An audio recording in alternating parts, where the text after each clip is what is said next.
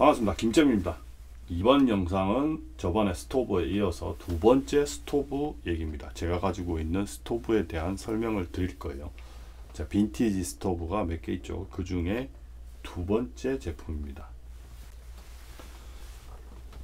이번 제품은 Bernzomatic이라는 회사의 제품이에요. Bernzomatic이라고 하면 지금도 잘 생산하고 있고 우리나라에서는 그 우리나라 잘 모르겠지만 토치 만드는 거나 이 가스 뭐 이 라이터 뭐 요런 거 있잖아요. 그런 용으로 아직도 유명합니다. 자, 이 제품이 벤조매틱에서 나오는 LP 가스입니다. 요거 보셨던 분은 에어컨 이거 수리하시는 분들 요런 거 하나 들고 다녀요. 에어컨 수리하시는 분들이 이거 들고 다니는데 이게 비싸요. 그리고 이 스토브는 본래 이걸로 동작하는 거예요. 이걸로 동작하면 그냥 가서 나가서 어, 캠핑장 가서 뭘 요리를 해 먹는 게 아니고 캠핑장 근처에 가서 식당 가서 먹어도 될 만큼 이놈의 가스가 많이 비싸요. 우리나라에선 허가가 잘 안 나는 걸로 알고 있어요. 뭐 정확한 건 모릅니다. 여기다 세워놓고 자 그러면 한번 외관 한번 보여드릴게요. 외관은 Bernzomatic이라는 로고가 있고요. 디럭스 모델이고 그 다음에 뒤쪽에 보시면 발이 있어요. 이렇게 해서 고정이 가능해요. 이렇게 상판 고정이 됩니다. 이런 식으로 네, 상판 고정이 가능해요. 우선 상판은 접어두고요. 높이가 안 맞으니까 자, 내용물 보여드릴게요. 내용물은 이렇게 돼 있습니다. 이렇게 요 내용물 꺼내고요. 안에서 이 내용물을 꺼내고 요거는 이제 가스 스토브를 쓸 수 있게끔 이렇게 올려놓으면 끝나는 거예요. 싱글 가스 스토브죠. 본래는 이렇게 돼 있는 거예요. 이렇게 이렇게 돼 있는 거예요. 이렇게 하고 써야 되는 거. 이걸로 쓰는 거예요. 근데 아시다시피 아까 말씀드렸다시피 이놈의 가스는 너무 비싸고 구할 수는 있지만 너무 비싸기 때문에 저는 개조를 했습니다. 개조에 대한 설명은 좀 이따 드리고요. 자, 줌을 해서 보여드릴게요. 연도를 좀 찾아보려고 했는데 이게 몇 년도 생산인지 모르겠는데 인터넷에서 대충 찾아보니까 한 대략 한 70년대, 60년대 제품인 것 같아요. 1960에서 70년대 제품인 것 같아요. 그리고 이 친구는 여기 밑에 보시면 자기 역사가 1876년이에요. 그러니까 100년이 뭐90 훌쩍 넘었네요. 그런 제품이고 제품은 싱글 제품하고 dual 제품이 있는데 싱글 제품은 TX550L 지금 이 제품이죠. 그리고 dual 제품은 그러니까 스토브가 두 개가 있는 거예요. TX50L이라는 모델이에요. TX 아니 뭐라고 하나 더 있는데 아 850. 음. 싱글은 TX550L. 네. 그 듀얼은 850L이라고 합니다. 보시면 이제 줌을 좀 올려서 마저 보여드릴게요. 여기 상판에 대한 걸 마저 보여드릴게요. 한, 이 정도만 해서 보여드릴게요. 그래서 요거를 이제 올리고 이렇게 올리고 이렇게 올리고요. 올라갔죠? 그 다음에 이 친구를 요쪽에 이쪽에다가 이렇게 끼는 거예요. 아이씨, 왜 잘 안 돼? 들어가. 이렇게 요거 레바로 고정시키고 요걸로 이렇게 이렇게 하는 거예요.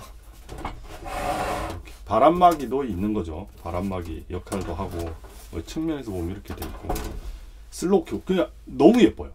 이 더블은 좀 안 예쁘거든요. 다. 근데 스토브들은 다 싱글이 예쁘거든요. 이 제품도 제가 처음에 와 이거 사야 되겠다면서 이베이를 잠수를 얼마나 탄 줄 아세요? 그래서 결국은 새 거를 거의 새 거를 구매를 했죠. 이게 뭐 새 거가 있을 리가 없겠지만 구매를 했습니다. 자, 제일 중요한 포트예요. 자, 한번 보시죠. 요거를 넣어 다녀요. 요렇게 마감을 해서요. 와, 더럽다. 제가 좀 묻었네요. 이렇게 넣어 다녀요 저는. 이렇게 해서 넣어 다녀요. 그래서 이제 캠핑장 가면 어떻게 쓰냐? 이거를 레버를 풀고요. 썼어요. 그리고 실제로. 그리고 이 레버를 제가 개조한 이건 접을게요. 제가 개조한 이 레버 뒤쪽 여기 보이시죠? 여기다가 이거를 꼽습니다 이렇게 꼽아요 그리고 이쪽에 이제 소켓이 맞아져요. 본래는 이 소켓이거든요. 근데 제가 이렇게 개조를 한 상태니까 이 소켓에 이거를 꽂습니다. 그리고 거리를 둬요. 자, 레바 연결을 하고 이 망을 아이씨 망 이거 맨날 헷갈려. 이렇게 놓고 그 다음에 뭐 자동으로 켜는 게 없어요. 예, 이런 터보 라이터, 라이터 또는 요거 제가 영상에서 따로 한번 얘기 한번 하려고 했는데 이거는 가스가 없는 어, 요런 불 붙이는 용이에요. 그러니까 부싯돌만 들었어요. 이렇게 부싯돌만 든 거예요. 자, 가스불 보이시죠?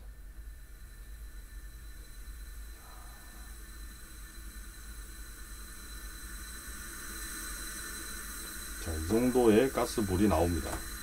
자, 옆으로 보시면 이 정도의 가스불이 나옵니다.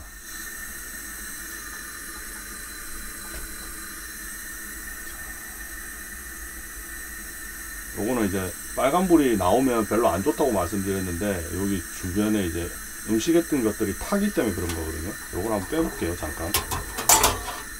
이렇게 빼보면 그렇게 빨간불이 많이 나오지는 않습니다. 최대로 세게 켜도 생각보다 빨간불이 많이 나오진 않습니다. 자, 갖가지 부속품을 좀 가지고 왔습니다.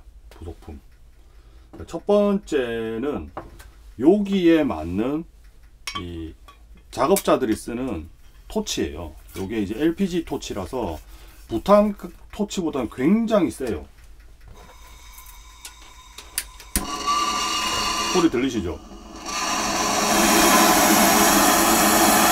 그냥 그냥 그 고음용 그 절단하는 거 있잖아요. 그런 정도의 소리가 날 정도로 화력이 굉장히 세요.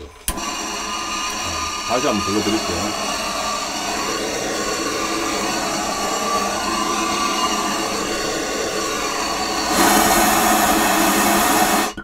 이걸로 뭐 고기 다 태워 먹겠죠. 그래서 이거는 이제 그런 이제 구리 이런 거 용, 납땜 하신 거 하실 때 쓰시는 용도인데 제가 요걸 가져온 건요. 우선 분해를 할게요. 자 이 친구를 제가 가져온 거는 이 LP 가스의 압력이 부탄가스 이 부탄가스보다 굉장히 높기 때문에 그런 화력이 나올 수 있는 거예요. 우리가 가스불을 불을 때우기 위해서 필요한 거는 연료, 가스와 산소가 있잖아요. 자, 여기 보시면 구멍 보이시죠? 구멍. 요게 산소 구멍이에요. 가스가 여기로 올라가서 그 다음에 가스가 올라갈 때 산소도 같이 따라 올라가는 거예요. 그래서 화력이 높아지는 거예요. 자, 그러면 요거 한번 열어볼게요. 자, 열었어요. 자, 여기에 산소가 들어가죠. 그리고 가스가 나오는 구멍을 한번 보여드릴게요.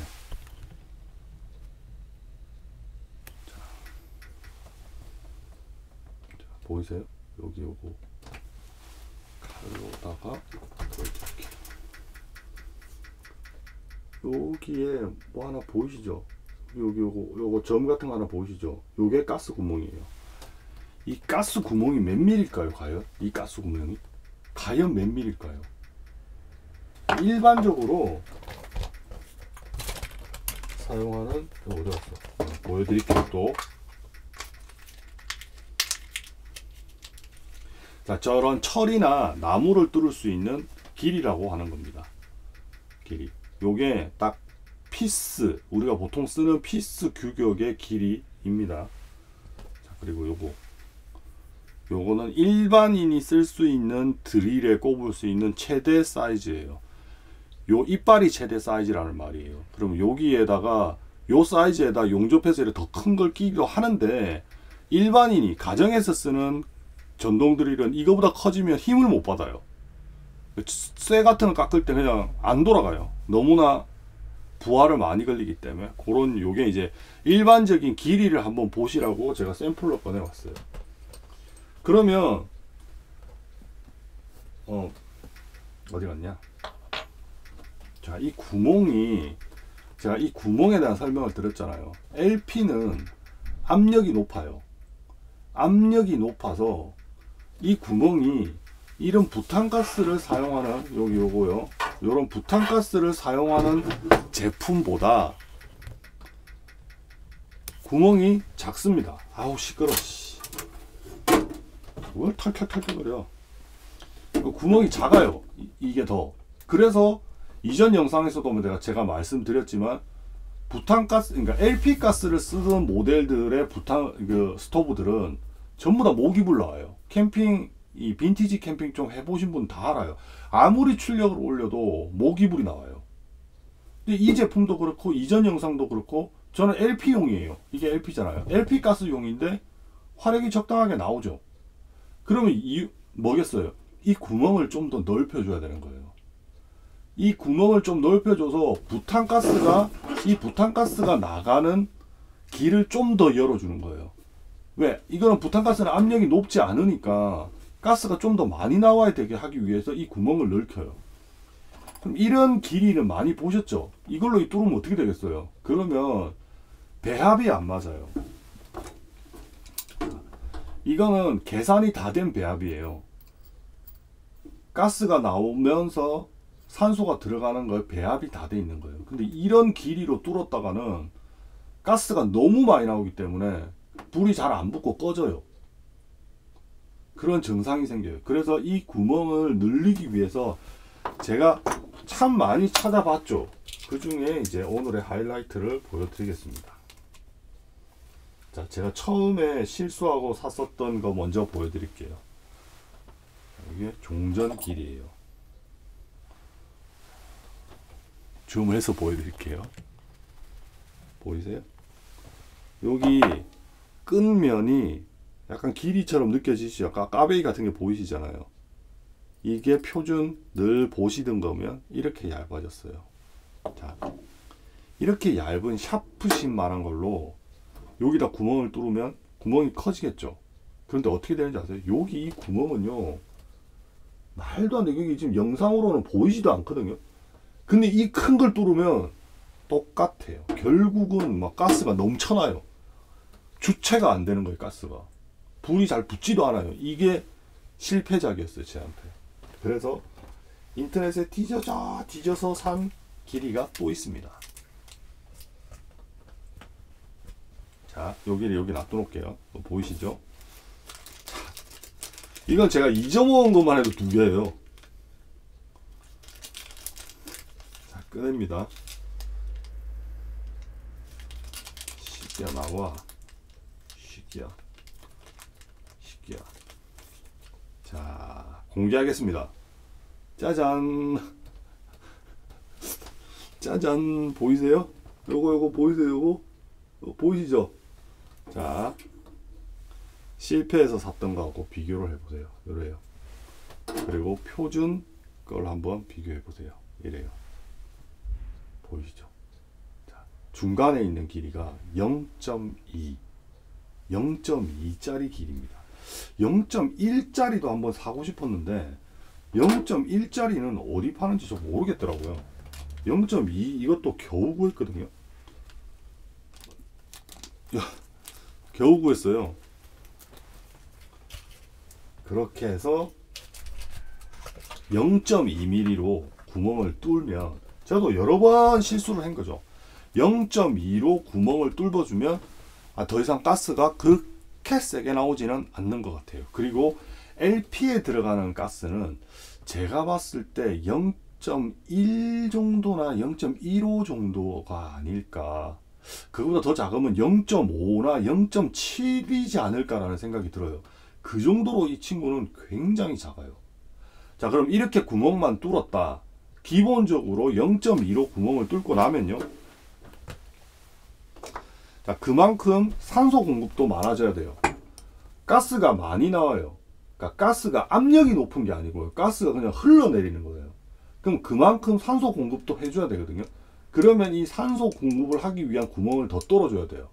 이쪽에서 LP로 쓰고 싶다. 그럼 이 구멍을 0.2 이거는 LP용이 아니잖아. LP용이니까 LP로 쓰지 않고 부탄가스로 사용하겠다라고 하면 0.2로 구멍을 뚫고 이 친구를 구멍을 더 뚫어줘야 되는데 구멍이 얼마인지 우리 저는 계산을 할 줄 몰라요.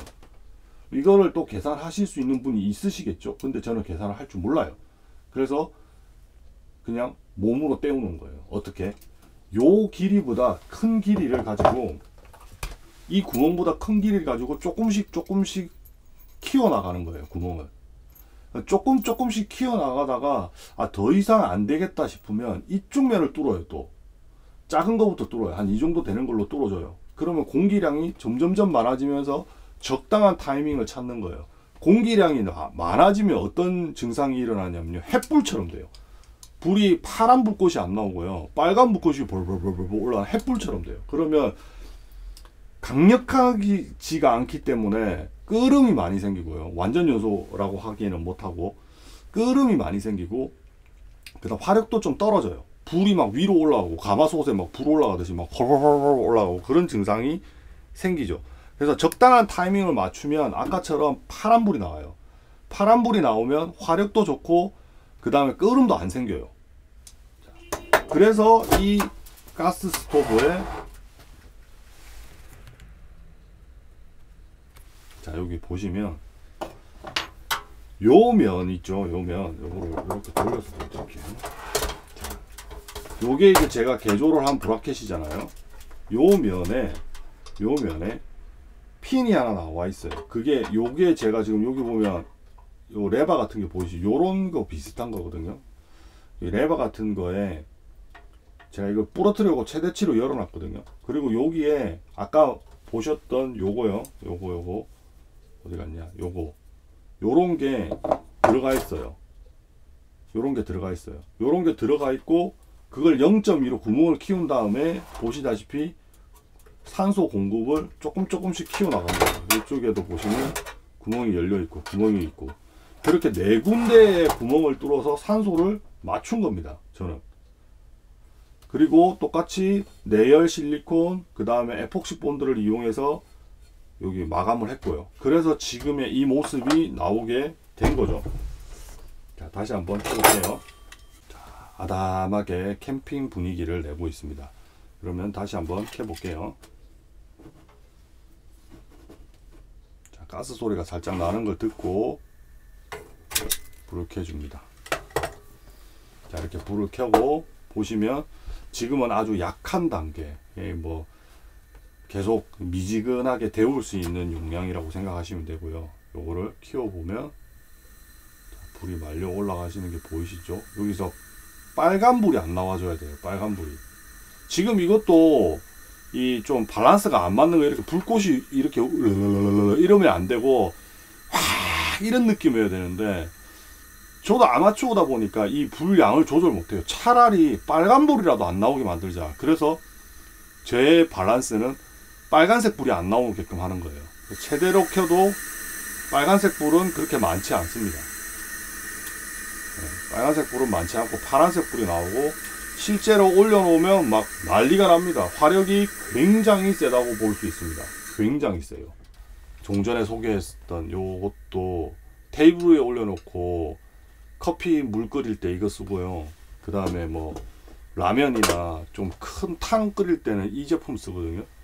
효과가 완전 만땅이에요. 최고입니다, 최고. 그리고 폼도 나고요. 폼도 나고. 캠핑 용품에 대한 얘기를 드렸습니다. 뭐 역시 궁금한 거 있으시면 댓글 남겨주시면 제가 뭐 또 영상을 찍든가 아니면은 댓글에 답변 다는 실력이 굉장히 떨어지지만 최대한 노력해서 답변을 달 수 있으면 달아드리겠습니다. 지금까지 김잼이었고요. 다음에 또 다른 영상으로 찾아뵙겠습니다.